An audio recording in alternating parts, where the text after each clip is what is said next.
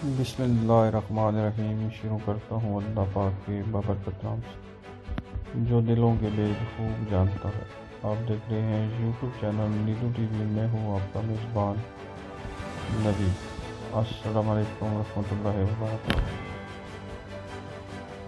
रोहित शर्मा की fast bowler Seraj को थप्पड़ मारने की वीडियो हो गई है वायरल।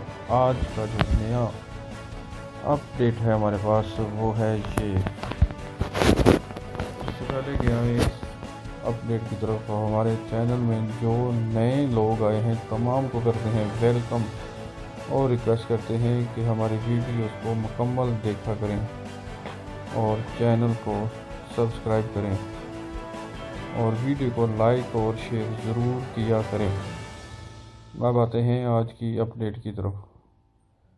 गुज्त रोज़ भारत ने जहाँ न्यूजीलैंड को पहले टी ट्वेंटी मैच में बासानी पाँच विकटों से शिकस्त दी, वहीं इस मैच में भारतीय बॉलर मोहम्मद सराज अपनी अंगली जख्मी करवा बैठे। 2018 के बाद मोहम्मद सराज ने अपना पहला टी ट्वेंटी मैच गुज्त रोज़ न्यूजीलैंड के खिलाफ खेला। इस दौरान भारतीय बॉलर जहाँ न्यूजीलैंड गेंदिंग के आखिरी ओवर में रिचन रविंद्रा की विकेट लेने में कामयाब हुए वहीं इस दौरान सिराज आखिरी ओवर की पहली गेंद पर अपनी ही बाल लगने के सबब अंगली जख्मी कर बैठे।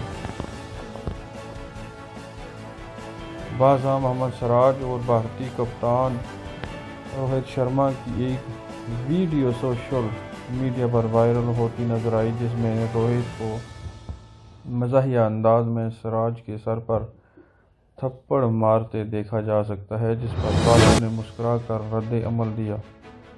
वायरल वीडियो पर सोशल मीडिया सार्फिन में तजस है कि रोहित शर्मा ने किस बात पर सराज को सर पर हाथ मारा।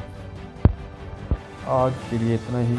नेक्स्ट वीडियो में नई अपडेट लेकर आएँगे। तब तक के लिए अल्लाह हाफिज़। अपनी दुआ में याद रखिएगा।